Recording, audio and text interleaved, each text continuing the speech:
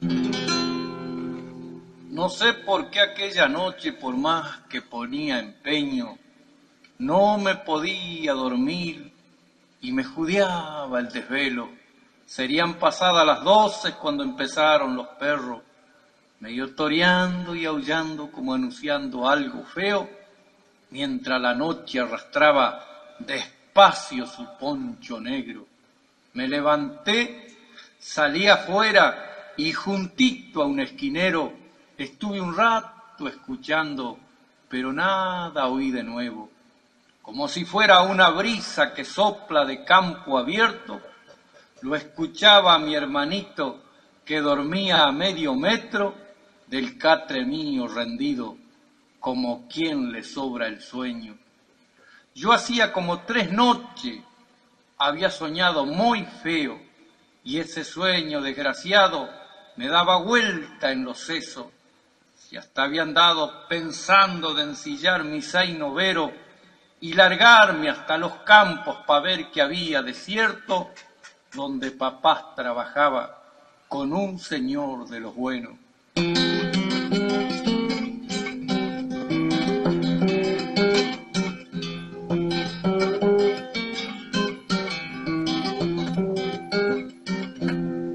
De pronto claro el chistido de la lechuza y atento que parecía que bailaba sobre las chapas del techo.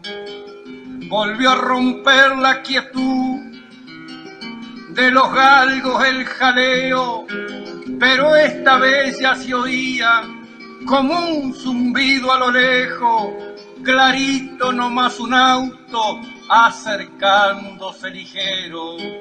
Me vestí en un santiamén y al oscuro tieso y quieto me quedé nomás esperando la presencia del viajero. No había pasado media hora en que el motor como trueno paró en el patio del rancho, de donde con tono atento me dijeron buenas noches, pensamos hallarlo durmiendo. Buenas noches, contesté. Me recordaron los perros, por eso es que levantado me han encontrado en el puesto. Los dos muy ceremoniosos, cosa que siempre agradezco. No sabían cómo empezar, al fin dijo uno de ellos, hemos venido a buscarlo porque su padre está enfermo.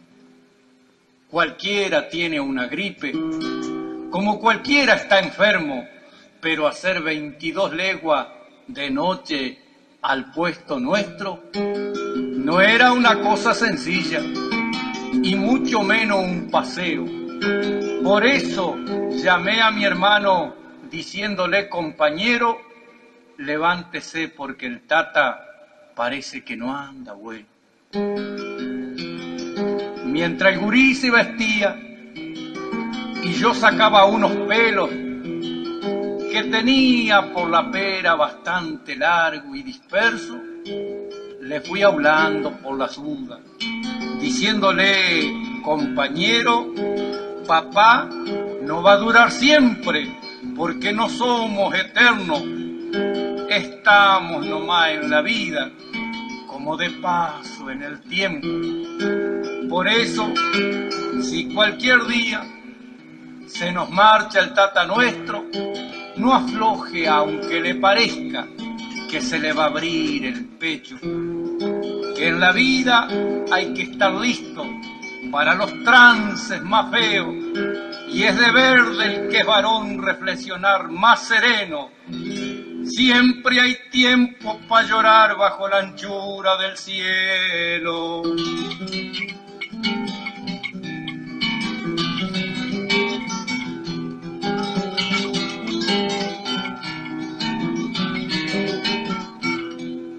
En cuanto estuvimos listos, después de atar a los perros y arrimarnos más la puerta, enfilamos para el pueblo. Cuando pregunten el viaje, ¿en qué lugar está el viejo? Me hicieron unos borrones que según para mí adentro era la confirmación de que papá estaba muerto. Y en cuantito a la ciudad, entramos como el pampero a la casa del patrón, fuimos a parar derecho.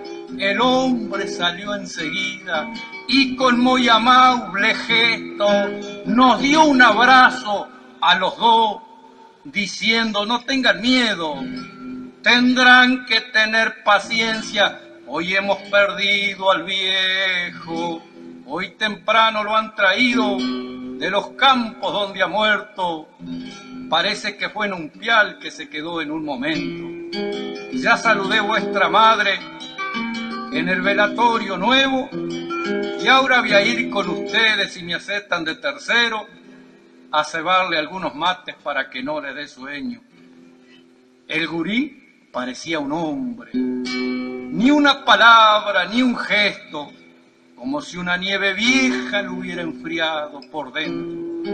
Después fuimos a velarlo, entre flores y desvelos, pero eso duró tan poco que lo vi como en un viento, ya con los ojos cerrados como tendido en un sueño. De entonces algo más solo Quedé de golpe, confieso, porque solo Dios es sabio de las penurias de adentro.